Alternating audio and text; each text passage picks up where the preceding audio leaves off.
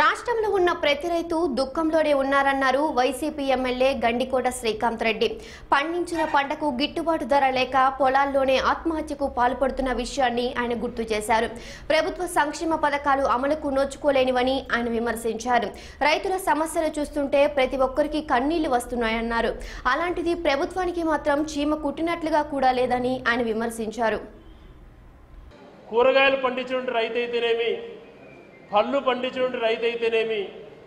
పూలు పండించిన రైతు. ఏ ఒక్క రైతు కూడా సంతోషంగా లేని పరిస్థితి రాష్ట్రంలో ఏర్పడ్డది. రైతు అష్ట కష్టాలు పడి తల తాకట్టు పెట్టుకొని అప్పు తీసుకొని తాను పండిస్తున్నటువంటి పంటకు గిట్టుబాటు ధర లేక పొలాలలో ఆత్మహత్యలు చేసుకున్నటువంటి పరిస్థితులు ఉన్నాయి.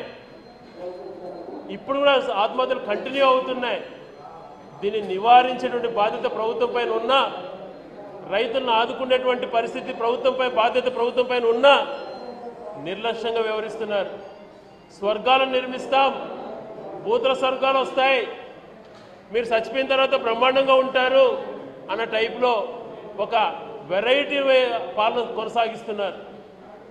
ఏ ఒక్క స్కీము ప్రజలకు ఉపయోగపడటంలే.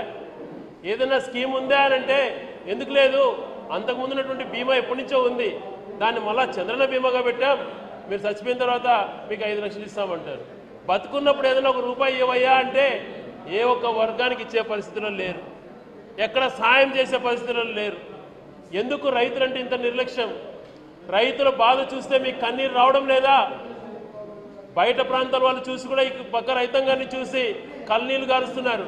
మీకు ఎందుకు కనిపించట్లేదు? ఎంతసేపు నేనే ఐటీని డెవలప్ చేశా.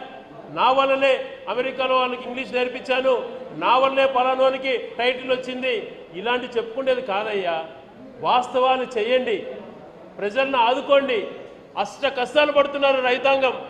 మనకు తిండి పెట్టేటువంటి రైతన్న పొలాల్లో ఆత్మహత్య చేసుకుంటుంటే ఎందుకు మీరు కనికరించలేకపోతున్నారు?